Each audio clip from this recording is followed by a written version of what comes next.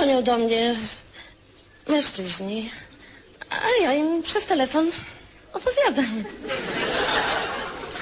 Hmm. Co opowiadam? No przecież pan wie.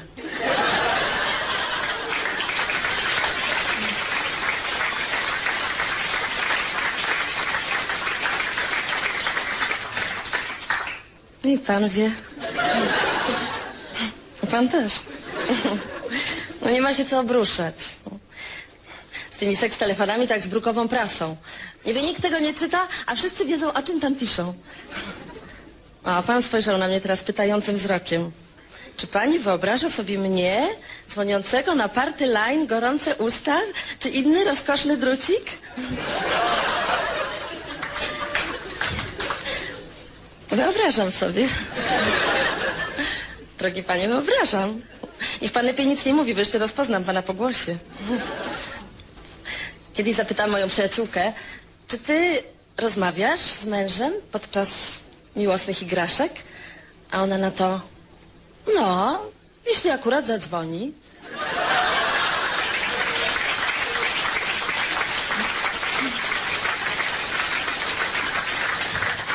Nie, no nie, ja wiem, ja przecież nie można uogólniać, no.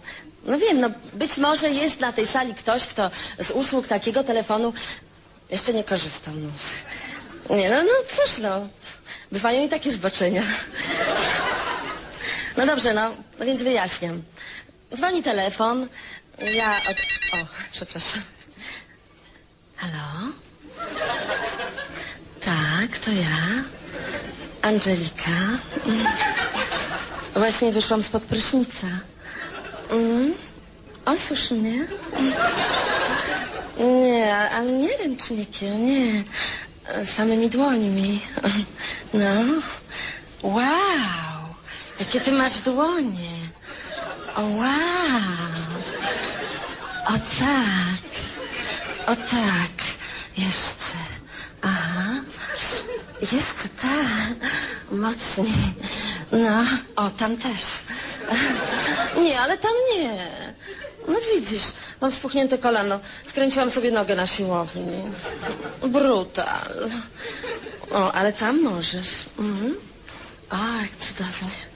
A, o, świetnie. O tak. O bosko. O, świet...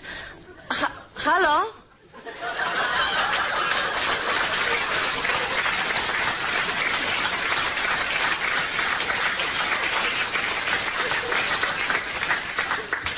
Koniec. Wsiadła mu bateria w telefonie. Albo w rozruszniku.